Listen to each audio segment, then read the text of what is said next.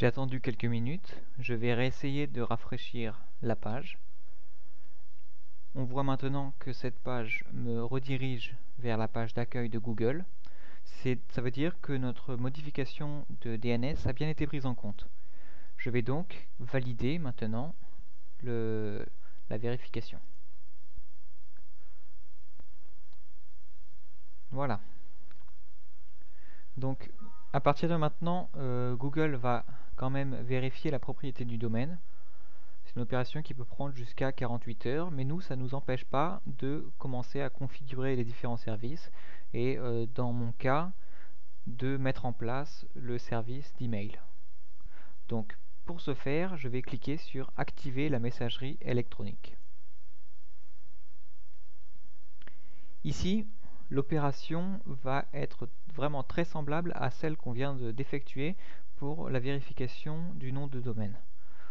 Je vais en fait ici modifier les enregistrements MX et non Cinem qui correspondent à la redirection euh, des, vers les, euh, les serveurs euh, Google Mail pour tout ce qui concernera les courriers électroniques de mon domaine. Donc ici, au lieu d'utiliser euh, les instructions euh, de Google, je vais euh, utiliser ce que me dit Book My Name. Donc je clique toujours sur personnaliser le contenu de vos DNS. J'écris le nom de mon domaine. Interface utilisateur averti. Donc ça c'est le premier enregistrement qu'on vient d'ajouter pour ce domaine. Et ici, je vais simplement faire un copier-coller des informations fournies par BookMyName en bas de page. Copier, coller. Je valide. Et là encore, il va falloir attendre quelques minutes que cette modification soit prise en compte. Ici, on peut quand même dire à Google que j'ai effectué cette procédure. En attendant que Google prenne en compte notre modification d'enregistrement MX pour notre domaine, nous allons commencer à créer nos comptes utilisateurs et dans mon cas le compte Nicolas. Donc pour cela je vais cliquer sur Organisation et utilisateurs dans le menu du haut de l'écran et je vais choisir le bouton Ajouter un nouvel utilisateur. Pour le moment on voit qu'il existe un seul utilisateur c'est le compte administrateur qu'on a créé en début de processus. Donc je clique sur ajouter un nouvel utilisateur et ici je renseigne nom, prénom, nom et l'adresse email principale. Ici on va euh, un mot de passe temporaire va lui être donné qui va devoir être changé lors de la première connexion de cet utilisateur. On peut également en définir un, moi je vais utiliser celui-ci. Voilà, créer un utilisateur. On peut également créer des alias pour euh, cette adresse email. Si je veux qu'on puisse me contacter sur nicolas.thomas, je vais aller très simplement sur ce... On va le faire. Ok? Très bien. Donc si je veux créer mon alias, donc je clique sur nicolas.thomas et ici je vais ajouter un alias nicolas.thomas. Et enfin, j'enregistre les modifications. L'alias va servir à pouvoir réceptionner les adresses mail sur le même compte à partir de deux adresses email différentes. Si une personne un peu tête en l'air veut me contacter à l'adresse nicolas.thomas.365jours.fr, je vais bien recevoir l'email et lorsque je vais répondre, ça me mettra mon adresse mail habituelle nicolas.365-jour.fr. Ça peut être utile dans certains cas. Donc j'enregistre les modifications. Voilà, on me dit que les modifications ont bien été enregistrées. Et maintenant, je vais retourner au tableau de bord. On est maintenant à la deuxième étape de la mise à jour Google C'est-à-dire que Google a maintenant vérifié nos enregistrements MX, mais il est en train de mettre à jour ses serveurs pour euh, activer le courrier électronique de nos utilisateurs. En passant, on peut remarquer qu'on a accès aux applications Agenda, Documents, Sites, Messagerie instantanée, Contact, et on peut également en activer d'autres via le Marketplace Google Apps. Donc pour chacun, on peut également se créer une adresse euh, personnalisée.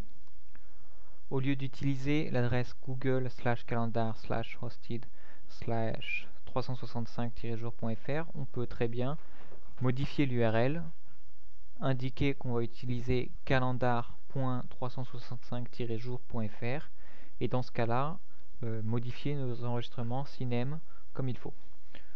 Donc moi, je ne vais pas utiliser parce que je n'en ai pas l'utilité. Je ne vais pas utiliser Documents, ni Agenda, ni Sites, ni euh, aucune application d'autre. Je vais simplement me limiter au strict minimum, euh, l'application email. Google a maintenant terminé de mettre à jour ses serveurs et on obtient ici l'adresse de notre messagerie de la forme mail.google.com.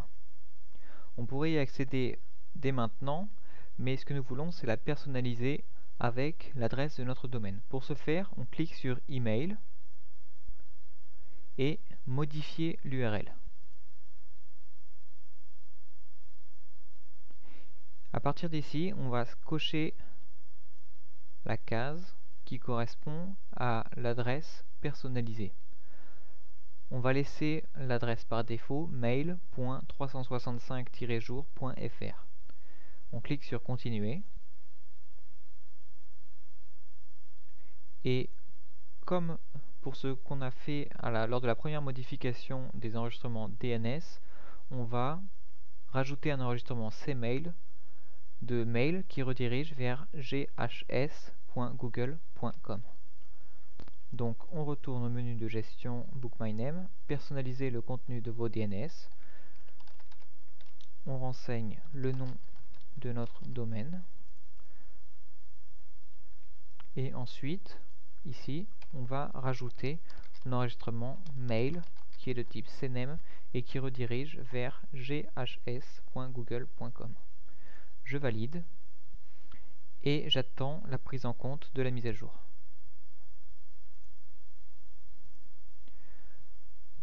Je retourne sur le tableau de bord Google Apps et je clique sur le bouton « J'ai suivi cette procédure ».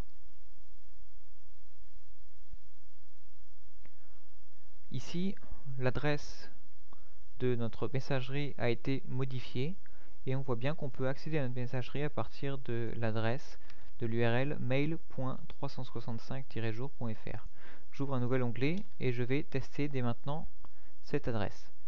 Comme on peut le voir, la modification du DNS n'a pas encore été prise en compte, mais euh, à partir du moment où euh, celle-ci sera prise en compte, cette URL va nous rediriger vers les serveurs Google et vers l'interface de type Gmail de notre messagerie.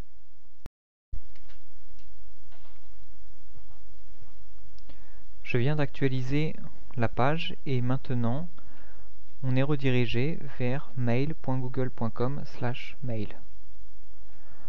Ça veut dire que notre, notre nouvel enregistrement a bien été pris en compte et on va pouvoir dès maintenant utiliser notre, notre messagerie de domaine. Donc là, je suis connecté avec l'administrateur, mais je peux très bien me déconnecter et me reconnecter avec le compte utilisateur créé précédemment. Comme j'ai déjà oublié le mot de passe, je vais aller sur euh, la, gestion du Google App pour euh, me le rappeler. Voilà, mon mot de passe c'est celui-ci. Donc je me déconnecte du compte administrateur. Je me connecte avec le compte Nicolas. Euh, ça c'est pour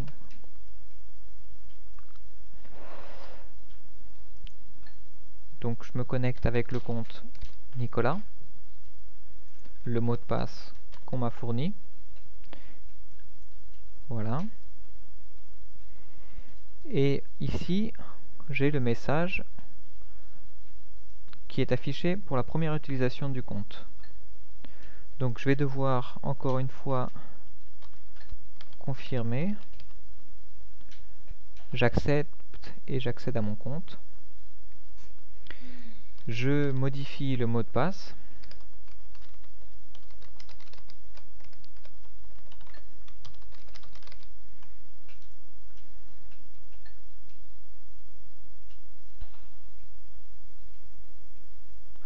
Et je peux commencer à utiliser ma nouvelle adresse email. À jouer sur les paramètres.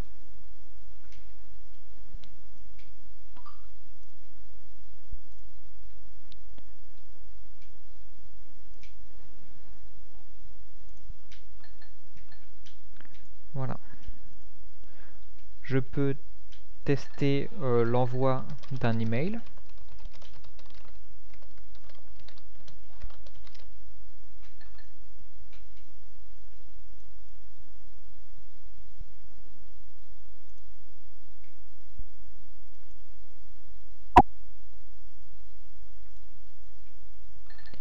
également la réception en me répondant à partir d'une autre adresse email.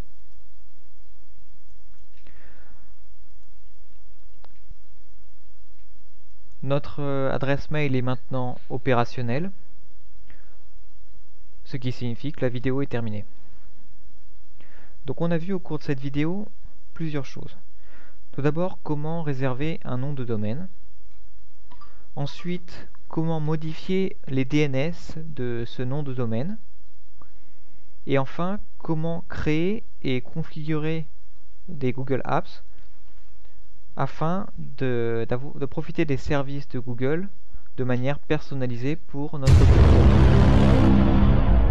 Donc, si vous avez bien suivi cette vidéo, vous êtes maintenant capable de réserver un nom de domaine à votre image et créer une adresse mail à votre image au lieu du typique euh, gmail.com ou free.fr. Donc j'espère que ça vous aura servi. Et euh, moi je vais continuer maintenant à la prochaine étape qui est la création du site internet associé à ce nom de domaine. A bientôt